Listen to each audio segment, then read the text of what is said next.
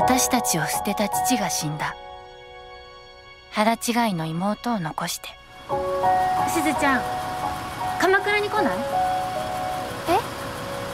え？一緒に暮らさない？4人で。お姉ちゃん着いたよ。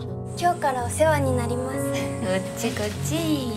どう？美味しい。でしょ？生しらすなんか他では食べられないからねあの子は妹は妹だけどあんたたちの家庭を壊した人の娘さんなんだからね。この家捨てて出て行ったのになんでわかんの？元はといえばお父さんが女の人作ったのが原因じゃない。いい年して子供みたいなこと言わないでよ。お母さんちゃんとやってるとこ見せたいだけでしょ。もうほとんど意地じゃん。